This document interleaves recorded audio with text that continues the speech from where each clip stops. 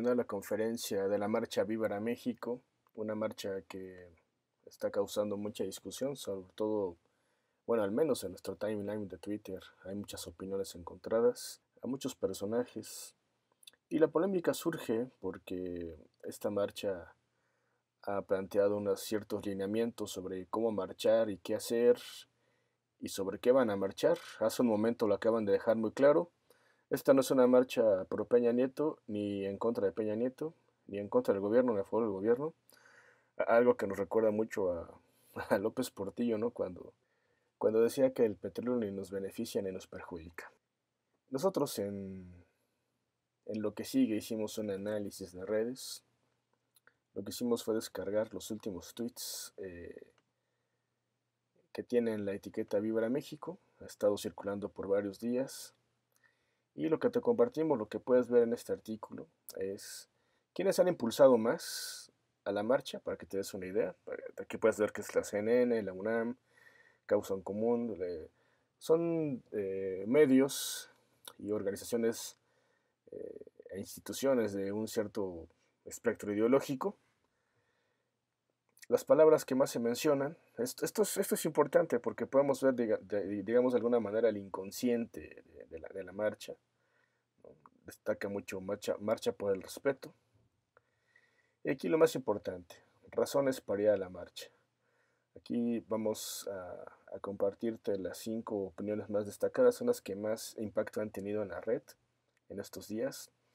Darío Ramírez, criticar la marcha está chingón, venga, pero si leen antes de escupir cualquier cosa sería mejor. Bueno, es una forma como de responder a todas las gentes que, critican a la marcha. El equipo de comunicación de Belauzarán, del diputado Belauzarán del PRD, dice, la marcha zapatistas no es una marcha por peña, sino un reclamo social. Yo sí voy a marchar. Un colectivo este, como Tómala dice, en Jalisco la organización Tómala MX sí es un órgano social apartidista. Viva México. Y las opiniones en, en contra, Ignacio Hernández, que es que, comparte no no apoyo a la marcha Viva México porque detrás están las personas que han dañado terriblemente a millones de mexicanos. No cuenten conmigo.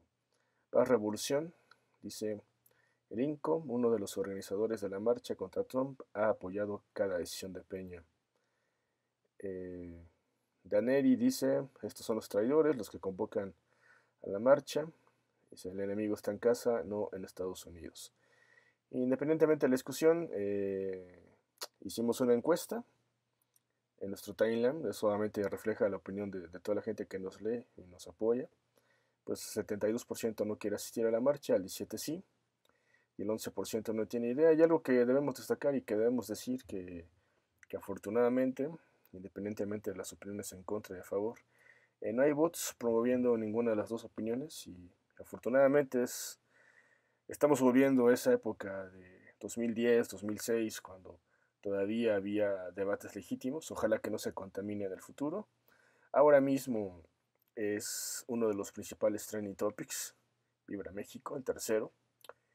Y ya veremos. Eh, acaban de, de confirmar que no es una marcha antipeña.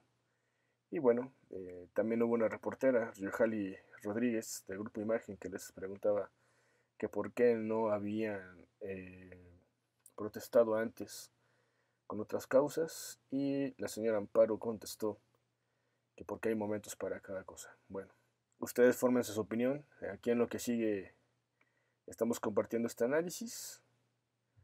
Una marcha que nos recuerda a, a un ambiente de 2012. Y ya veremos, ya veremos cómo se comporta todo este domingo. Muchas gracias.